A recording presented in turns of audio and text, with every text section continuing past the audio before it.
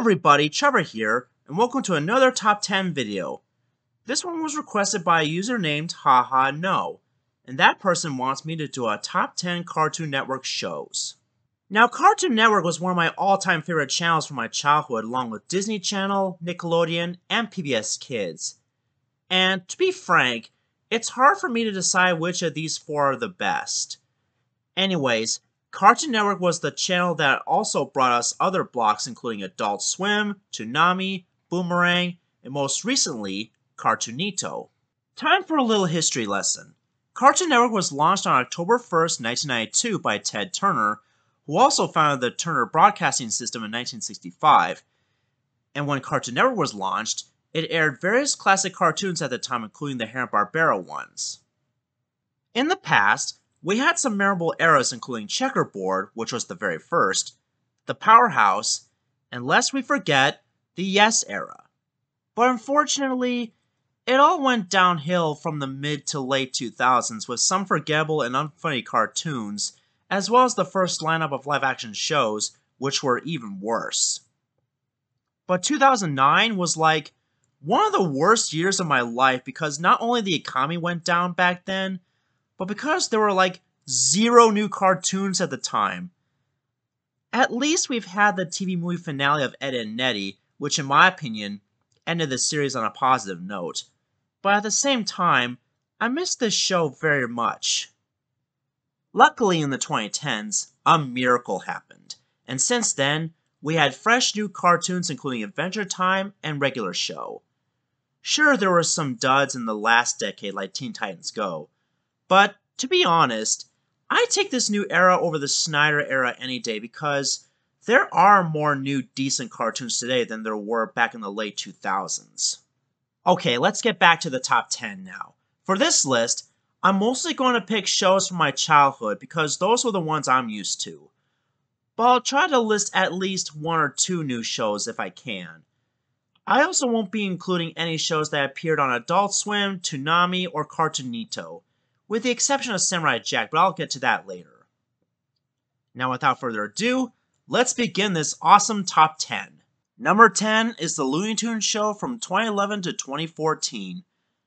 As much as I love the original Looney Tunes shorts from the golden age of animation, but when it comes to its modern day spin offs, this is my most favorite one for a number of reasons.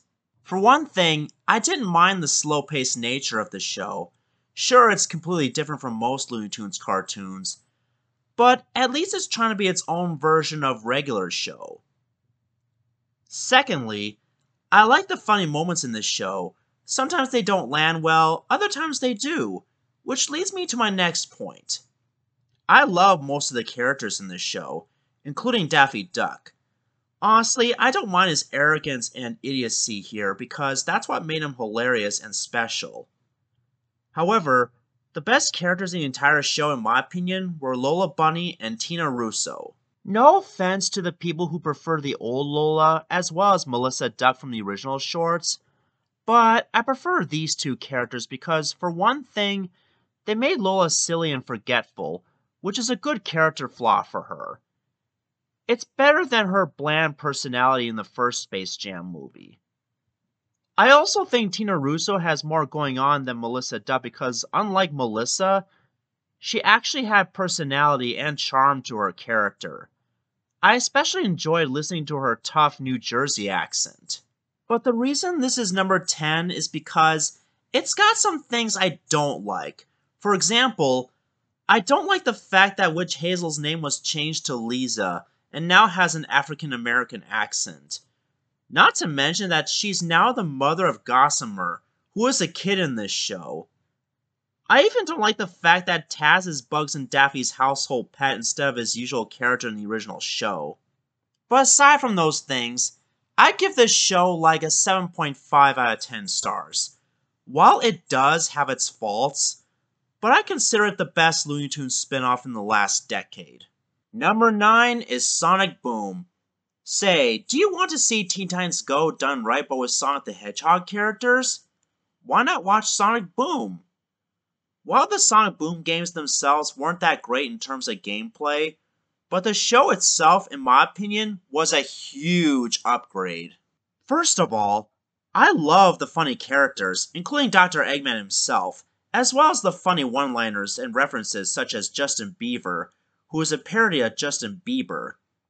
But my most favorite character out of all of them, besides Dr. Eggman, was this version of Knuckles. I know some people don't like this incarnation of Knuckles mainly because he's a moron, but personally, I take this Knuckles over his original serious counterpart any day. And besides, we already have a more serious and edgy character in the franchise. Also, in my opinion, this is my favorite Sonic cartoon of all time. No offense to the people who grew up with the 90s Sonic cartoons, but when it comes to the comedy and characters, this is the best Sonic show. But I put this as number 9 because when it comes to the Sonic games, I'm not very good at them, which is why I'm not buying any more Sonic games. Not to mention that I even left the fan base itself because they always try to find something to complain about, which is not very healthy in my eyes. Whether they are trolls or not, they're still a toxic fan base. But that doesn't stop me from enjoying some of the characters, storylines, and music in the franchise, especially in the Sonic Boom show, which I still consider one of my favorite shows from the 2010s. Number 8 The Powerpuff Girls, or at least the original.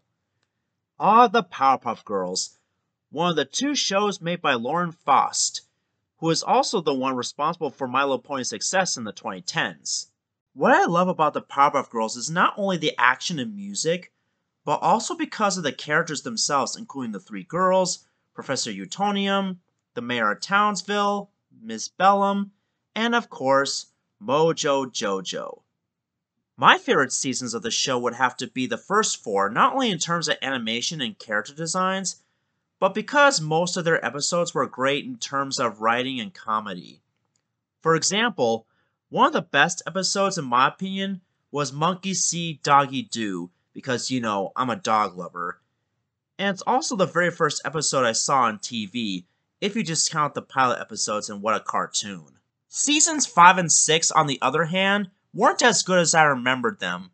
Most of their episodes were either cringeworthy, not funny, or just too slow paced. For example, there's this one episode known as Girls Gone Wild where the Powerpuff Girls were forced to not take any more action in the city because of a couple strict jerks. What are they, soccer moms? And there's another episode known as The City of Frownsville, where this weird villain made an invention to make the whole town cry, including the Powerpuff Girls, just so that he could be the only happiest man in Townsville. How annoying is that? I'd rather listen to SpongeBob cry than watch this pointless episode. But to be quite honest, I'd rather watch the first six seasons over the 2016 reboot episodes any day because at least they are all part of the original series as well as having the original voice actresses for the three girls. I could rant on the 2016 reboot all day, but that's a topic for another time. Oh, and one thing I forgot to mention in the script is that the original title for the show was Whoop Ass Stew. When I first read this, I was like, seriously? Is this a kid's show or what? Overall, this is a really great show, and I'm thankful that Craig McCracken is going to bring it back pretty soon. I just hope it's better than the 2016 reboot because we all know how bad that one was. Number 7. Tom and Jerry The Original Shorts. I love Tom and Jerry. They're hilarious and charming. When I was a kid, I used to watch a bunch, and I do mean a bunch, of the original shorts from the 40s, 50s, and 60s. In fact, there are so many good ones that I can't list them all here. One of my favorite shorts was this one where Tom plays the bass to some white girl cat in the balcony and sings, Izu or Izu ain't my baby, which was performed by Ira Buck Woods in the cartoon. Another one of my favorites was Slicked Up Pup, where Tom was tasked to watch Spike's son Tyke and make sure he stays clean. But Jerry plans to trick Tom into making him dirty. Fun fact I used to have this one short on VHS back in the day. But I decided to put this as number 7 because Tom and Jerry is one of those old cartoons that's been milked to death by the company. You know Warner Brothers, there are plenty of ideas for reboots for older shows, right? Well, Why not make a revival of Yogi Bear or some other old cartoon that hasn't gotten any spotlight in a long time? But still, I enjoyed most of the old Tom and Jerry shorts from the 40s, 50s, and 60s. It's one of my all time favorite cartoons from the golden era, along with the Looney Tunes. Number 6 Dexter's Laboratory. Dexter's Laboratory is about a boy genius who builds a secret laboratory in his room, while his older and dim witted sister Dee Dee is the one who likes to sneak in and wreak havoc, much to his annoyance. This was one of the very first cartoon cartoons I remember watching as a kid, along with Cow and Chicken and Johnny Bravo. One of my favorite episodes was Ice Cream Scream, where Dexter pursues an ice cream man for ice cream but refuses to give him some due to a tragic backstory with a big jar of pennies. By the way, I love ice cream. My favorite flavor is chocolate. Another one of my favorite episodes was The Big Cheese, where Dexter can only say omelette du fromage due to a recording machine that went haywire. The best seasons, in my opinion, are the first two in terms of animation and humor. The later seasons, such as season 3, didn't quite age very well because not only that the animation is different, but the character designs drastically changed. Not to mention that there are continuity errors, especially with Mandark's backstory and how he first met Dexter. And those are the reasons why Dexter's Laboratory is number 6 on this list. But I'll still treasure the first two seasons. Number 5 Johnny Bravo. Like Dexter's Laboratory, this was also one of the very first cartoon cartoons I remember watching as a kid. Johnny Bravo is about a handsome young man who is also a buffoon, tries to find love around Aron City only to get beat up by every beautiful woman he meets, which is the running gag of the show. That's one thing I love about Johnny Bravo. The second thing is that I thought Jeff Bennett's Elvis impression suits the character perfectly. Some of my favorite episodes include the Twilight Zone parody trilogy, the first one is about a clown trying to destroy an airplane that Johnny and his mother were riding in. The second one is about Johnny trying to babysit a boy with psychic powers. And the third and final one is about a talking girl doll named Tabitha that likes to torment Johnny. Even though I didn't get the references as a kid, but personally, I didn't care because all I cared about was the entertainment, and that's it. In conclusion, Johnny Bravo is a really good and funny cartoon, and I'm sure your kids will enjoy watching this because it's got humor that appeals to both kids and adults. Number 4 Courage the Cowardly Dog. Courage is about a timid pink dog who must protect his new family from evildoers and monsters that invade their home in the middle of nowhere. As a dog lover, I loved this show when I was little. Sure, it has some scary moments, but also knows when to be funny and heartwarming.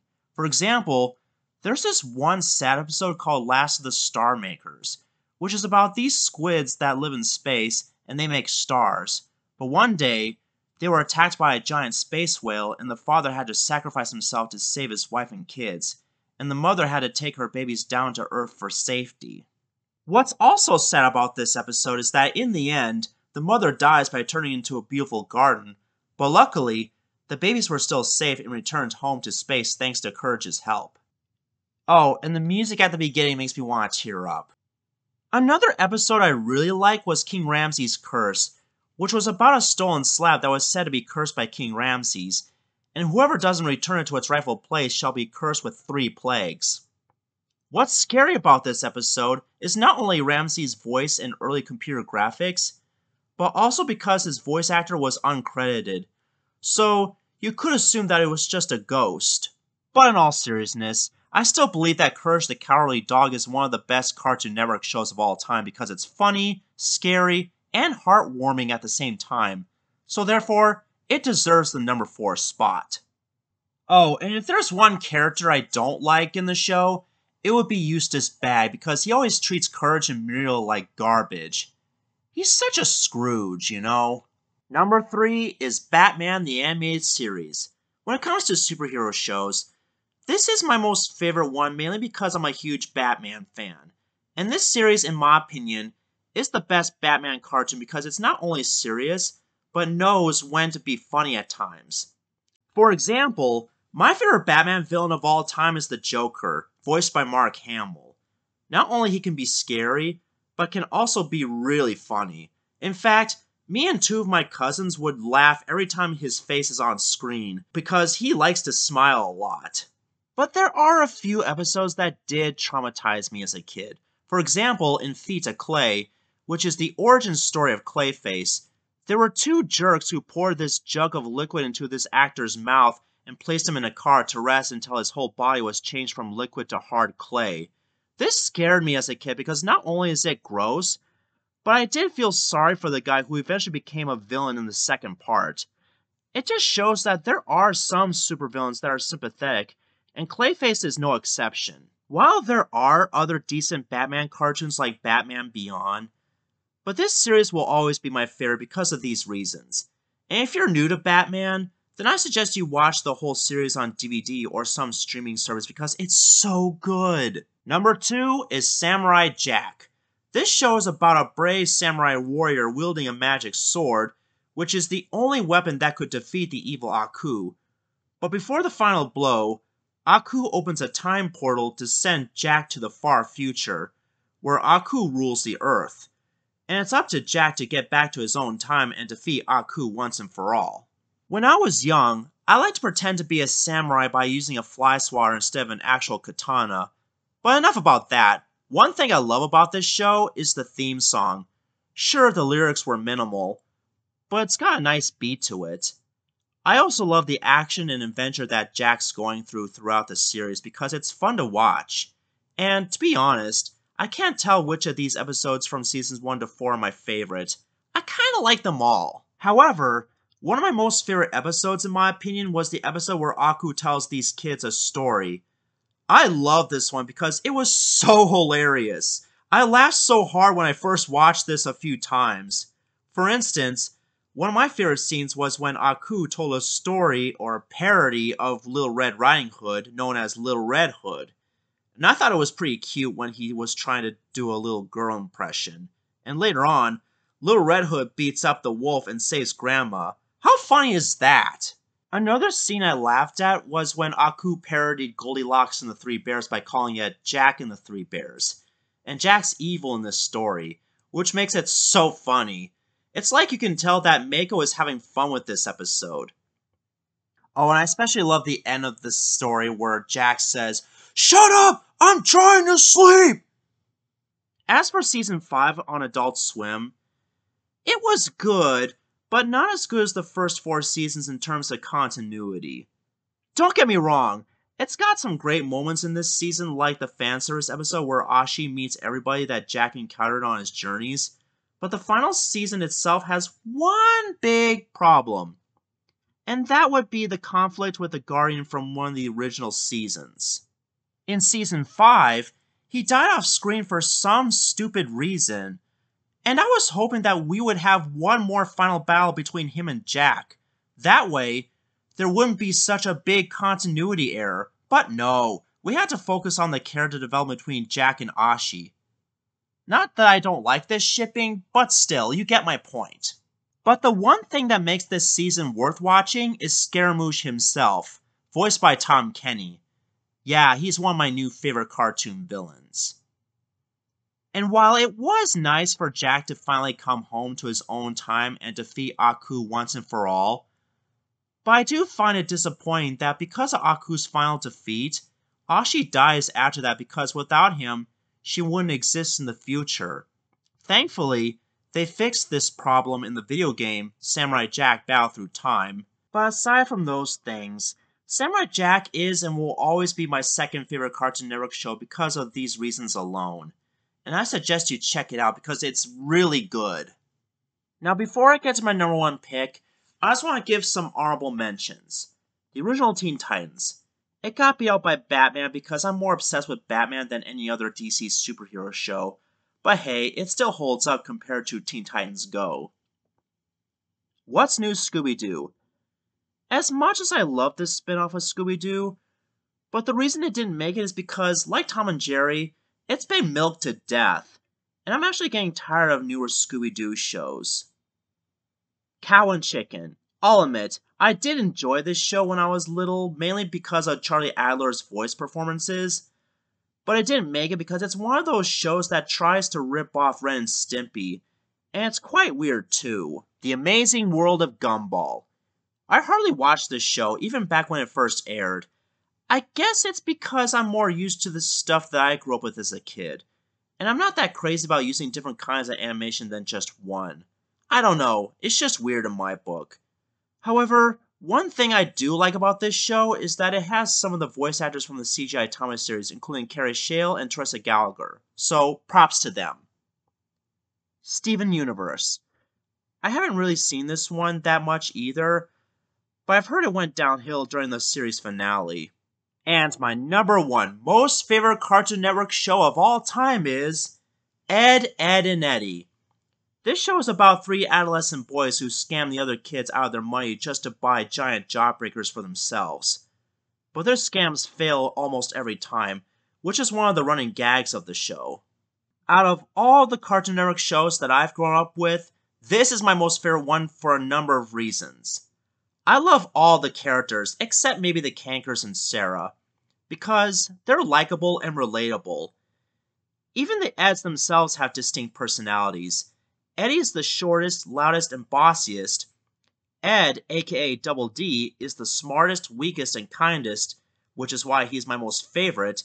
And Ed, who is the dumbest, strongest, and most hilarious of the three. Oh, and he's also my second favorite. Double D is the one I relate to the most because there were times where I do have sympathy towards the guy. He's known for being the most gullible of the Eds. For instance, in the case of Ed, he was convinced that he was terminally ill by a fictional disease known as lackadaisy cathode disease, which causes him to cry only to realize that he's been tricked on by Eddy and Ed. And in my opinion, this was an okay episode because for one thing, I do like the ending where Double D teaches the other two a lesson about playing tricks by letting Kevin into the house to beat them up. But at the same time, he should have realized that he's not really dying in the first place. If you want to see an episode like this done right, then I would recommend Mama's Little Ed. And another episode where I do feel sorry for the guy was in A Fistful of Ed, where he was accused of being the tough kid in school. He tried to convince everyone that was all just an accident, but for some reason, Nobody believed him, which also caused him to cry. In other words, he did nothing wrong! But like a case of Ed, this one is also okay because I'm glad that the Eds were all friends again in the end. But at the same time, the climax could have been a little bit better if Jimmy didn't decide to beat up Double D in the end. If you watch the episode, you'll see what I mean. But there's a ton of episodes I do love. My most favorite one of them all was An Ed is Born, which is about Eddy trying to make a home movie just to impress his big brother and to show him that he's all grown up. This is the best episode because it's like a parody of America's Funniest Home Videos. You can also say that it's kind of a parody of those poorly made home movies that can be found on video hosting sites such as YouTube. Unfortunately, like other great shows, even back in my youth, this one has a few duds. My least favorite episode was the two-parter If It Smells Like an Ed. Not only because Jimmy was out of character in this one, but because there's one scene where Double D was laughing along with everyone else due to Jimmy getting a wedgie, which causes poor Jimmy to snap and frame the Eds for their laughing. Seriously, Double D, how could you? My second least favorite episode would have to be Sorry Wrong Ed. And it's not just because I felt bad for Eddy for being tormented by that quote unquote cursed telephone. But like the last one, Double D was also out of character here. He's been acting kind of a jerk to Eddy. Personally, I think this episode could have worked if the curse affected the other kids, you know, besides Eddy, of course, as well as making Double D feel concerned for his friend Eddy like he usually does. But the real reason this is number one is not just because of the likable and relatable characters, but also the bizarre humor, unique animation, catchy theme song, and the fact that this show makes me wish I was a kid again, just like the Eds. Although I do think the show ended on a pretty positive note with the Big Picture Show TV movie, but at the same time, I wouldn't mind a revival of this if it was more of a continuity from the previous generation where the Eds are high schoolers or something like that, and then it could be aimed at adults, just like with Samurai Jack Season 5. After all, Danny Antonucci did make a few adult anime cartoons before this. And one last thing that makes Ed and Eddy great is that it's one of the best Canadian cartoons along with My Little Pony Friendship Magic. And it's the reason why I've decided to make some MLP slash Ed and Eddy parody videos on my YouTube channel in the first place. Man, those were the days. So there you have it, my top 10 favorite Cartoon Network TV shows. Let me know in the comments on which of these are your favorite. Do you agree with my list, or do you have your own personal preference? And yes, I'll be doing the same thing for Disney Channel, Nickelodeon, and PBS Kids, but not right away because they're not on my monthly schedule yet. Oh, and if there's anything else I could have elaborated more on or added in, feel free to give me constructive criticism about it. This is Trevor Davis, signing off.